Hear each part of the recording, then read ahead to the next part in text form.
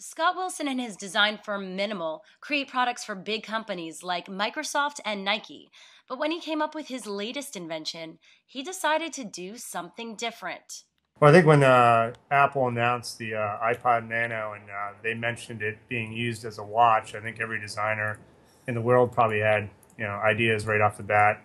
And we designed two uh, different versions. One's uh, one that the iPod snaps into and pops out very easily mm-hmm. for um, people that want to kind of, you know, possibly wear it as a watch or as a clip. And um, and then we have another one that uh, more permanently turns it into a watch, which is made of metal, and it, it kind of turns it into more of a high end uh, multi touch uh, watch. He then launched a page on Kickstarter.com, which allows anyone to donate money to help launch a creative project.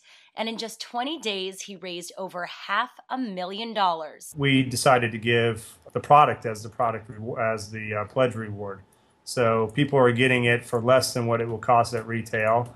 Uh, for their pledge, and they're helping fund uh, you know the project and uh, get a company off the ground. How many people donated?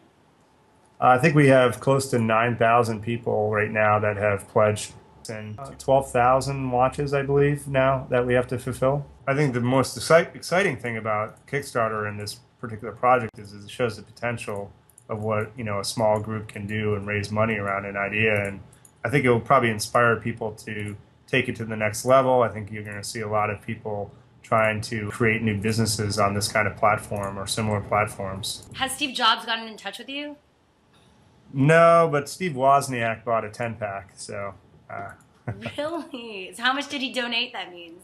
Uh, that was the five hundred dollars or more level. Yeah. So he was number ninety-five out of the 100 uh, five hundred dollar packages. Uh, we sold through the five hundred dollar packages in two days. You can still donate and snag your watch by December 16th. Otherwise, expect to see the watches on sale online or at a retailer near you soon. For CBSNews.com, I'm Shira Lazar.